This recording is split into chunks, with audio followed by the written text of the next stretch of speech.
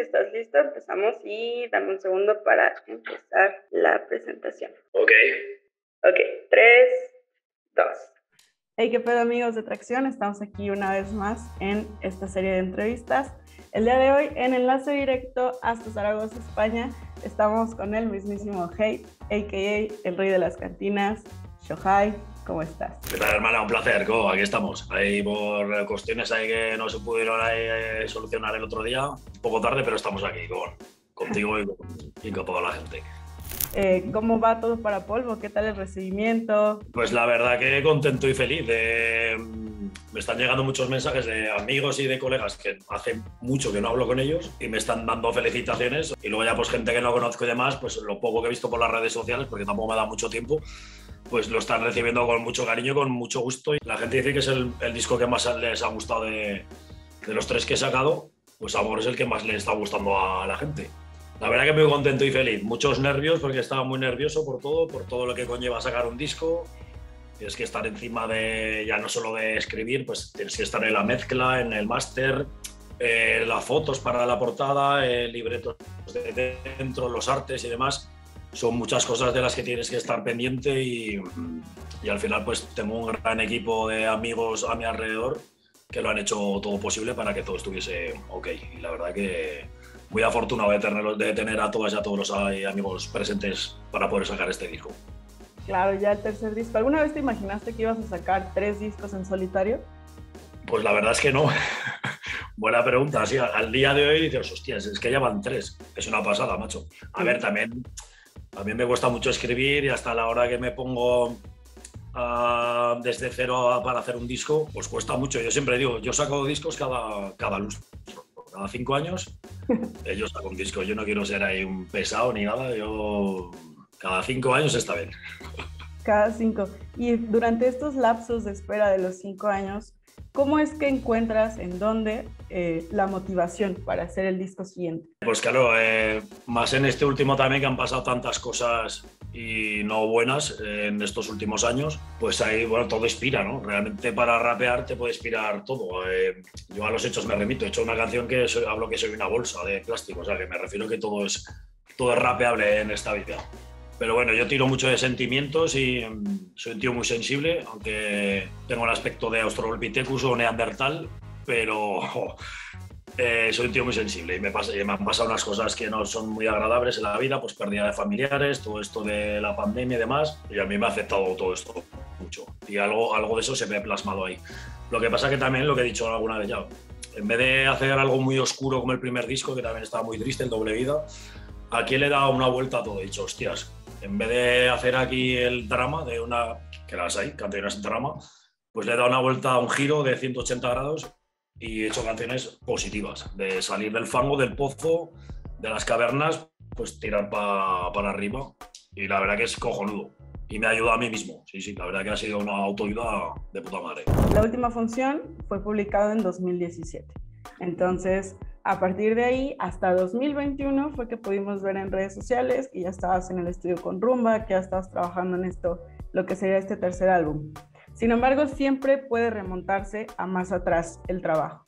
Entonces, ¿en qué año fue más o menos que empezó la idea o el trabajo para, para Polvo? Es que realmente cuando empiezas a escribir canciones así sueltas tampoco te planteas sacar ningún disco, ¿no? Yo, por ejemplo, la primera canción que escribí para este disco es una que se titula Nada de Nada, que sale Casey en el estribillo, producida por Chelas, por ejemplo, nos íbamos de viaje, no sé a dónde, de conciertos y demás, y Chelas iba en la furgoneta y siempre lleva sus instrumentales, hostia, pones total, y la escuché y dije, hostias, esto es para mí. Y eso ya es hace, a lo mejor hace cuatro años, por ejemplo, eh, que estaba escrita esa canción e incluso grabada de prueba y demás. Luego, pues eso, son instrumentales sueltas que te van viniendo y tú vas escribiendo. Claro, con dos o tres canciones tampoco dices, yo qué sé, tampoco te planteas el sacar un disco. En la primera canción se puede decir que hace cuatro años, que yo creo que fue esa, estaba grabada de, de prueba. Y esa fue el primer, el primer ladrillo, como si dijésemos, del, de este edificio llamado Polvo. Eh, fueron 13 tracks, Y durante estos 13 tracks transitaste por distintas emociones, distintos temas. Obviamente, eh, a lo largo de, del disco también vimos una variedad de, de, ritmos muy interesantes. Entonces, en este disco tú curaste directamente todos los beats que iban a entrar. A ver, Rumba siempre me manda muchos y descartamos y demás, y siempre descartas. Yo soy muy. Tiene que hacer así la instrumental. Si ya la escucho y digo, hostias, es muy rápido. O sea, es, es sí o no. Es muy. Mm, si no me entra del todo, directamente a esa instrumental, por ejemplo, se descarta. Pero la verdad es que mm, lo que te digo, he tenido mucha suerte. Rumba ya sabe lo que me gusta. Jace y Acción Sánchez también me han hecho cosas un poco como a, la carta o a la buen bandeja. A Acción Sánchez le pedí una instrumental con algún toque reggae que fuese ultra rapper también a la par. Y me la mandó y, o sea, no le tuve que decir nada. O sea, eh, dije, o mejor de lo que yo me esperaba. Pero se descartan muchas cosas. Eh, aparte también de, yo de las letras también yo todas las letras que escribo van a salir en el disco. Lo que pasa es que pasan muchos filtros por mí mismo, de, de tachar. Yo soy muy yo escribo con boli, con, con, papel y demás. Yo tacho mucho y hasta que la tengo ya la letra como la quiero para mí, eh, pasa muchos, muchos filtros. Pero claro, se descartan muchas cosas, muchas frases, muchas instrumentales, hasta que ya lo logras tener como, como tú quieres.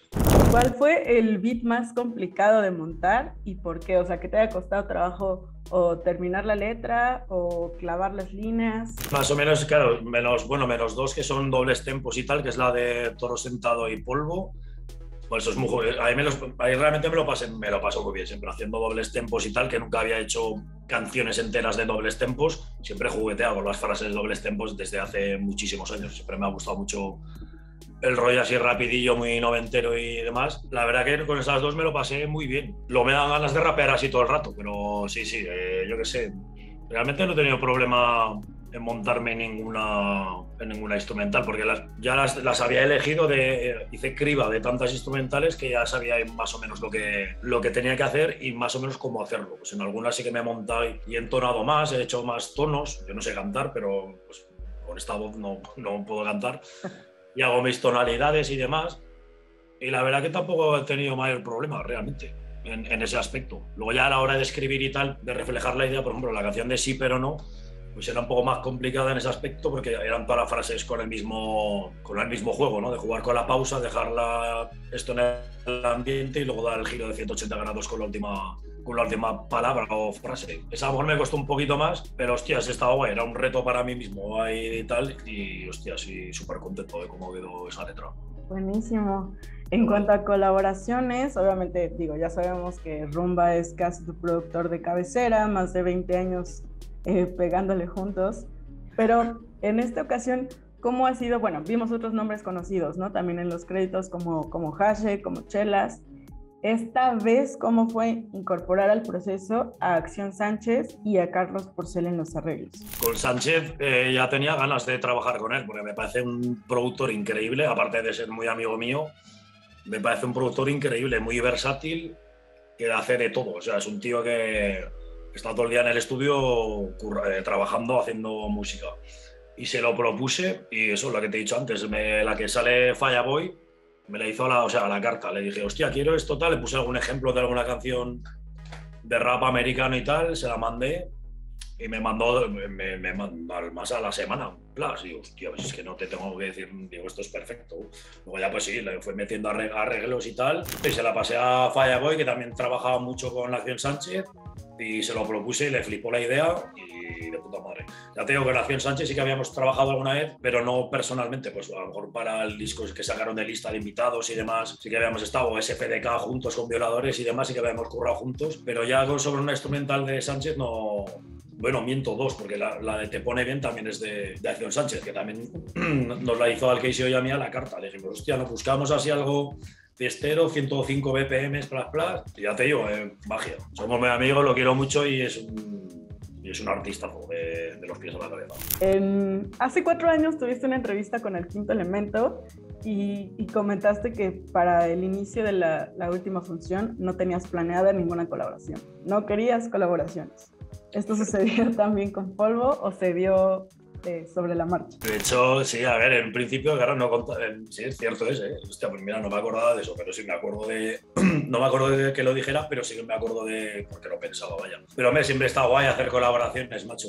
Y, mm, claro, en este disco también es, he contado con Fireboy, que no habíamos hecho nunca nada tampoco. Me parece, de, pues sí, pues a lo mejor es el mejor haciendo reggae o dancehall aquí en, en España, me parece un bestia. De hecho, lo, o sea, lo, que ha hecho para, para la canción que se llama Luz Escondida del disco me parece increíble. O sea, el gacho siempre me ha molado mucho, me ha gustado muchísimo, pero ahí no es porque sea mi canción, pero ahí lo ha hecho mejor que nunca, tío. O sea, el gacho se ha dejado el alma para hacer ese estribillo y esos dos cachos y demás. Y luego también he contado con Cace, también rapper aquí de España y demás, también muy amigo y demás de hace tiempos. Y más que nada es que ahí me vino, me pasó el rumbo a la instrumental y como era así bastante melódica y bonita y demás, pues la primera imagen o la primera cara que me vino a la mente fue, fue la de Cace. Es un tío que, aparte de rapear muy bien, pues también entona muy bien, canta muy bien y quería eso, aparte de que si hiciese un trozo de raps, pues que entonase algo y tal y demás. Y fue un poco improvisado ahí en, en el estudio y salió el estribillo ese precioso. Y el tío es que súper versátil y hace lo que quiere. Y sin merecido tiene todo lo que está consiguiendo que hace. Es un, genio, es un puto genio. En cuanto, bueno, seguimos con colaboraciones. Eh, cuéntame sobre rap que te pone bien. Es una de las rolas más fiesteras que encontramos en el disco, como mencionas. Pura fiesta. Es un homenaje a Back to the Grill. Back to the grill again, sí, totalmente. De hecho, sale Ruma en el vídeo con el vinilo de MC Search. Es un homenaje totalmente. Back to the girl again, the girl again. Es totalmente.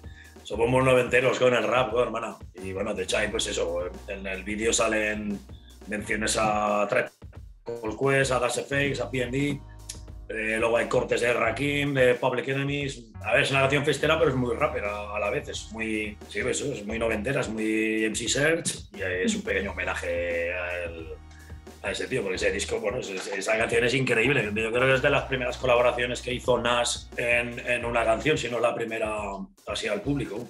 Y sí, siempre nos ha gustado mucho ese, ese primer disco de, de MC Search y un pequeño homenaje. Increíble. Bien visto, bien visto, hermana.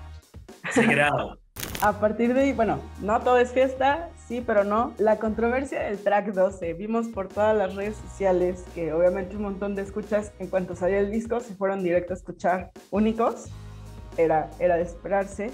Em, después de esta época un poco complicada que atravesó Lírico y pues esta incertidumbre de si volvería o no, y obviamente también después de que cada uno de ustedes, cada uno de los miembros de Violadores exploró el camino como solista, ¿Cómo ha sido este primer regreso oficial? ¿Cómo fue volverse a meter en el estudio y fluir los cuatro de nuevo para poder encontrar un track? Fue muy bonito, hermana. Mira, se me ponen los pelos de punta y todo. A ver, eh, somos los hermanos de toda la vida, somos amigos. Eh, eso es lo que va a perdurar siempre. Algún día la música se acabará, estará ahí lo que, nuestro legado, lo que hemos hecho, pero nuestra amistad va a, va a sobrevivir forever. Eso es, eso es para siempre. Y la verdad que fue mágico, yo lo propuse primero, pues poco a poco. Rumba, que es el con el que más confianza tengo, por decirlo de alguna forma, con, el que está grabando el disco, pues le comenté, digo, hostia, y si hacemos una canción los cuatro, tío, hostia, pues plus. Luego se lo comenté a Javi y me dijo, hostia, pues vamos para allá. Y a David se lo comenté también, si tenía ganas, al lírico, me dijo, vamos para allá. Y nada, elegimos todos una instrumental que a Rumba y a mí nos flipaba. A Casey y a Lírico le cuadró también esa instrumental y nada, pues pasamos un día entero ahí en el estudio, como los viejos tiempos, tío. Rumba en la mesa de mezclas al mando del, del halcón milenario y los rapes metidos en la cabina, pues metiendo coros como siempre y, o sea, fue un, flash, un flashback de hostias, de como no sé cuántos años atrás, ¿sabes? En un, chasquido. Y la verdad que fue magia, hermana, es que fue magia. Y sí, yo esa noche dormí muy a gusto. Me fui a la cama, me tapé, suspiré así un poco y me fui súper gustito a dormir. Digo, tengo una canción de violadores, bueno, tenemos una canción de violadores, pero yo afortunado y porque sale mi disco, ¿no? y beneficiado incluso. Pero sí, sí, normal, y normal que la gente fuese directamente al track 12, a ver, que es normal. Pues había mucha, muchas ganas de escuchar a, a, los cuatro ahí, estar ahí por ahí. Pero sí, fue un día mágico. él estará en el estudio con, con los hermanos. Los cuatro de regreso. ¿Estuvieron, ustedes escriben juntos o digamos que tienen ciertos versos, ¿no? Eh, como rapper siempre tienes ciertos versos, líneas ahí que tienes de pronto sueltas y buscas dónde encajar. ¿Esto cómo funciona? El, más que nada, yo suelo trabajar siempre, me gusta estar solo en mi casa, haciéndome mis párrafos y tal. Ya, por ejemplo, los estribillos, sí que es más de todos, pues amor, eso sí que es más fluir en el, en el estudio, ¿no? Pues te pones la instrumental ahí, loop y tal ahí todo el rato. Y ya pues es eh, brainstorming, hay tormenta de ideas, van saliendo cosas. Hostia, tal, tal, vamos a probar esto. Es así más o menos. Los estribillos, yo es que siempre me ha gustado, a ver, alguna cosa de última hora o, algo, pues lo haces en el estudio, pero siempre me ha gustado llevar las letras ya hechas de, de mi casa. Pues, pues, sí, porque es que le doy muchas vueltas y soy lo que te he dicho, soy mucho de, de tachar. También está guay la frescura de, de, que se te ocurra algo y grabarlo, pues también está guay. Lo que pasa que no sé yo si pocas veces lo he hecho eso o casi ninguna, tío. Pues, es que soy mucho, muy rayado, le, doy muchas vueltas y si eso ya se graba y queda así para siempre, mm, yo siempre soy de cambiar cosas, de, escucharme, de hacerme pruebas y luego ya llevarlo súper mascado y, y en el cerebro un flash y ya pues eh, volverlo a grabar, pero dándole muchas vueltas. Pero sí está guay, la frescura así de la improvisación y todo eso también, también está, pero más que nada pues para los estribillos y, demás. Eh, del disco, ¿cuál fue, ¿cuál fue tu línea favorita tuya? Eh, bueno, no sé, me gustan todas, pero no sé. Hay frases, hay frases, sí, hay frases que son ahí vacilonas, otras más sentimentales, no sé. Las madres y abuelas no deberían morir nunca. Esa es mi frase larga vida a las abuelas. las abuelas y las mamás siempre, siempre tenían que estar vivas. Así debería. En, en cuanto a, a, todo lo que nos mostraste, eh, visuales, portadas, te vimos muy involucrado en, también ahí por Instagram, en esta parte con Marcos Cebrián, que, que, es quien ha tomado la foto, y pues claro, con la participación, perdón, de Lara Gómez en, en el diseño, ¿no? En toda esta ejecución. ¿De quién fue la idea de incorporar el auto al concepto? Yo, bueno, la idea de. Yo llevaba la idea eso de que de polvo, pues lo mítico es el paso del tiempo y tal. Pues me imaginé lo mítico de un coche que lleva aquí aparcado no sé cuántos tiempos y la, gente le pone lo mítico, eh, lávalo, guarro, movía así y se me vino el. Digo, hostia, obviamente no iba a poner eso, ni a dibujar ahí cosas raras y tal. Y se me ocurrió el concepto eso del cristal y ya llevarlo a, todo, ¿no? De, en el interior, en el, lo que es el libreto, de, pues cada canción lleva su, su propia ilustración y todas las ilustraciones son pues con mi dedo, de pues eso, escrito en, imperativo, pues sale una pizarra y pues imperativo pues está puesto con, con mi esto. Luego no sé cuál otra, pues en la mesa, don perdón, pues en la mesa hay como tierra, polvo, pues también tal. Y lo del coche se me ocurrió a mí, lo pasa que el Marcos Cebrián fue el, el que dijo, hostia, pues yo es que veo aquí un coche noventero, tal, es un Toyota Supra, es un coche que tampoco es que sea de alta gama ni nada, se lo, se lo dejó un amigo suyo, lo llenamos de tierra, las, el nombre de Soja está puesto real, es, con plantilla real, es todo artesanía, no es, si no, no tendría eh, mérito, ¿no? El haber hecho esa portada por ordenador no tendría mérito, lo que tiene mérito es que fue todo artesanal, de ponerla las letras de soja y que en vinilo, pues llenarlo todo de tierra, luego quitarlo con cuidado, yo luego poner el polvo, tal, y ya puedes buscar la, foto perfecta. Y sí, pero el coche lo eligió Marcos Tebria. Tiene, ese tío tiene un ojo increíble. O sea, tú puedes mirar a un sitio eh, y este tío ahí echa la foto y luego te la sé. Pero, tío, si es que yo ahí no veo nada. Claro, este gacho es fotógrafo y es muy bueno. También es, también es amigo, lo que te digo, igual que Lara, que también es amiga. Sí. Y pues eh, diseñó lo que es la, ahí en la portada del coche lo que es la matrícula, que es un homenaje a mi hermano Rebel, pues, eh, eso lo diseñó eso, claro, obviamente el coche había una matrícula normal, pues eso lo diseñó Lara y quedó de puta madre, la verdad. Pero sí, sí, macho, grandes tipos y grandes trabajadores. Y lo que te digo, mucha suerte, he tenido mucha suerte, tío, de rodearte de amigos que encima que, que se involucran al 100% con esto es una pasada tengo mucha suerte. Con Marcos precisamente ha evolucionado, ¿cómo ha evolucionado tu relación? Porque obviamente ya vimos, como dices, fotos anteriormente con violadores, por ejemplo, empiezas a, a tenerlo, digamos, como, como un prospecto para proyectos a futuro. Sí, a ver, eh, siempre nos. Mm, de hecho, la, del anterior disco, las fotos de mm, promocionales también ya me las hizo él y demás. También con KCO se va siempre de viajes con, con KCO a, a sus conciertos para tomar fotos y demás. Y se me ocurrió, a ver, que ya te digo, aparte que es que es adorable, es un tío más bueno que, que, que el pan. Y dije, joder, es un tío de que lo tengo aquí a mano, es de Zaragoza. Puedo quedar con él, que eso me gusta mucho, ver que habrá gente ultra válida por toda España y demás, pero yo sí puedo quedar con ellos y, y, estar ahí con ellos face to face, pues, pues mejor. Y ya se lo comenté hace no sé cuántos años, antes de empezar el proyecto, pues hace dos años y pico, se lo comenté y me dijo, hostias, y encima el gacho siempre ha sido escuchador nuestro y le ha gustado mucho lo que hacemos y demás y no se lo pensó ni lo dudó ni un, ni un segundo. Encima es que es un tío súper rápido, tío. Le, le hice las cosas, lo hacemos. Bla, bla. Me dice, no, no, yo lo que menos quiero es molestarte a ti y tal. Lo que no molestar, yo echar las fotos que sean necesarias. Y el tío súper rápido, macho. Venga, pues ya está. Yo, pero ya. Genial, magia. Luego ya le da sus toquecitos en el ordenador y demás. Me lo enseña, o sea, es quedar por las tardes con él y por la noche el tío no se puede ir a dormir sin meterse en el ordenador, darle, poner un filtro a la foto y mandármelas, mira tal, no sé qué. O sea, el gacho es, tiene pasión por su, por su trabajo, o sea, tiene pasión y eso se nota. O sea, ya te digo, eh, echamos una foto a las 8 de la tarde y a las 11 yo tengo ya las fotos con retocadas y tal, elige la que quiera, que, tío, qué genio. Respeto a Marcos. Sí, sí, mucho, mucho. La verdad que sí, sí, ha quedado increíble. Lo que es el, la portada y el, y el, diseño y todo eso, estoy súper contento. A la gente le está gustando mucho, pero es que sí, sí, sí está, está mortal. El rodaje de Toro Sentado, ¿cómo fue? ¿Ya habías estado en un rodaje tan grande? Yo los mato sentados. Los aniquilo, kill, tan tranquilo, yo los mato sentados. Eh, a ver, es, ese sitio donde rodamos, bueno, lo, eh, Momo es el también rapero y amigo, o sea, que vive aquí enfrente, o sea, que es que es la hostia. Eh, es el que me ha hecho los tres vídeos, el de sí pero no, te pone bien y este de toro sentado.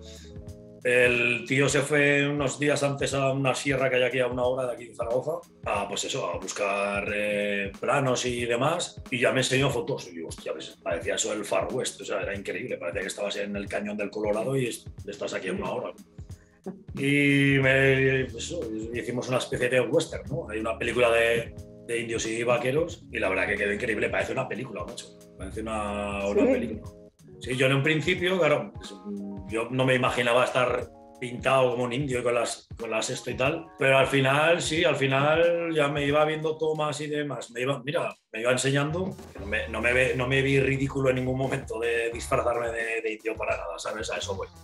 No me, siento, no me, me estaba cómodo, incluso. Okay. Me, me, encantaría ir por la calle así.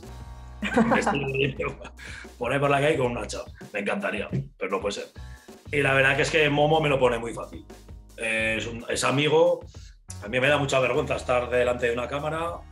Incluso ahora mismo yo soy muy vergonzoso, hermana. Me cuesta mucho ahí expresarme y demás. Me cuesta mucho. Y, y, él me lo pone muy fácil, porque es amigo y me lo pone fácil y me da, eso me da calma a la hora de, de estar en, delante de una cámara. Porque yo no soy actor ni nada, yo pues, tengo algún registro de cara y poco más. Es lo que hay. Y me lo pone muy fácil, tío. Eh, está, me gusta mucho trabajar con Momo también. Pues eso, otro amigo que lo tengo cercano y, increíble. Claro. En, en, cuanto a los siguientes meses de gira, cuéntame, ¿qué podemos, bueno, en España, qué, puede, qué se puede esperar de esos shows? Eh, ¿Qué estás pensando, digamos, eh, consolidar con, con cada una de las fechas que están ya anunciadas? Pues sí, empezamos gira a final de mes, de, de, este mes, estamos en octubre, no sé ni qué mes vivo, sí, estamos en octubre ya. sí. Pues al final de este mes, 28 y 29, empezamos en ciudades aquí, se llama Pamplona y Vitoria. Y nada, pues a ver, eh, obviamente, pues es presentar el disco entero polvo, eh, pues alguna canción del doble vida habrá también, de la última función, pues claro, eh, obviamente de algún trocito de violadores tiene que haber siempre, pues sí, más de hora y media de show, de, de, raperada. Pues eso, me voy con Ocean, que es el que me hace el dobles voces, otro rapper de aquí de Zaragoza. Y w Chef es mi disc jockey. Y lo que digo siempre, a mí no me gusta mucho hablar en los conciertos, porque lo te digo, me cuesta mucho. Eh, hay poco speech en, en mis directos. pues ahí vamos combinando mucho, pues eso, el DJ va una instrumental con otra, ya tengo el Tetris hecho del puzzle de, de canción del setlist, son como treinta y pico cortes, o sea, es una locura. Tengo al, Sí. al DJ, al DJ lo tengo sudando todo el rato, está, ahí, está, bueno, es muy juguetón, es muy juguetón la, la historia. Y sí, pues es una fiesta de rap. Eh, es una fiesta, la gente ahí tiene que ir a pasárselo bien y olvidarse de lo que hay fuera. ¿no? Eh, Por lo menos estar ahí casi dos horas y evadirte de todas las cosas mierdas que hay fuera. ¿no? De, eso se trata, de- de eso se trata la, la música y la vida también. Totalmente. Hablando de eh, permanecer en el presente, pero también de avanzar rápido, tenemos una ronda rápida de preguntas. Es lo primero que te venga a la mente, ¿te parece bien? Ok. Sí, Ok. perfecto. Ok. ¿En qué track está tu sample favorito del disco? Eh, en la 2 mismo, sí, pero no. ¿Cuál es la línea que te representa más actualmente? El revulsivo musical del momento es repulsivo. La primera persona en quien piensas cuando hablamos de estúpido.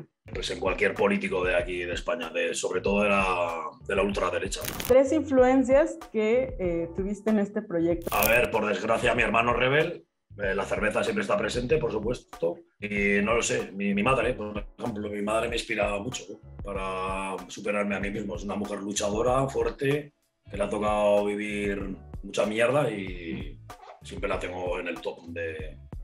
De o sea, joder, qué pasada, qué luchadora. Una rola que prefieres. ¿A tomar por culo o polvo? Hostia, claro. También depende de. No tienen nada que ver una con la otra. Pero, a ver, claro, a tomar por culo es más dicharachera, más tal. Polvo está muy guapa, tío. Polvo te es muy. muy del corazón, sí. Venga, polvo. ¿Nada de nada o te pone bien? Venga, te pone bien. ¿Toro sentado o estúpido? Hostia, es que es difícil, ¿eh? Claro. A lo mejor si, si pasase más tiempo me tendrías que hacer estas preguntas y te diría una u otra. Como están un poco recientes, como quien dice, eh, era estúpido. Buenísimo. Y listo, cuéntame, ¿cuál fue tu, tu momento favorito para, sobre, más bien en, to- en todo el proceso, durante todo el proceso, ¿qué, qué ha sido lo que más disfrutaste o que tienes algo muy presente? Sí, a ver, más que nada que son varios momentos realmente de, de ver que va avanzando ¿no? el proyecto, de hostias, ya vamos grabando, se va viendo ya el color que va tomando todo el disco, eh, llamar a Fireboy que me diga que sí, ya tenerlo en el estudio, increíble, llamar a Cace, tenerlo en el estudio, pasar el día con él, increíble también. Son varios momentos que es un cómputo ¿no? de, de sensaciones eh, todas guapas. O sea, a ver, que obviamente hay mm, su- sufrimiento no es la palabra, hay mucho eh, joder, hay mucho trabajo ahí metido y muchos nervios y tal. Luego ahora ya, por ejemplo, ha salido ya el disco, pues ya todo eso, es- eso se, te, se te ha olvidado. O sea, dices, aquí está, tío, aquí está, suena de puta madre, tengo aquí a los amigos aquí haciendo colaboraciones. Pero es lo que te digo, es un poco una suma de todo. Pues estar con violadores en, en, el, en el estudio, pues increíble.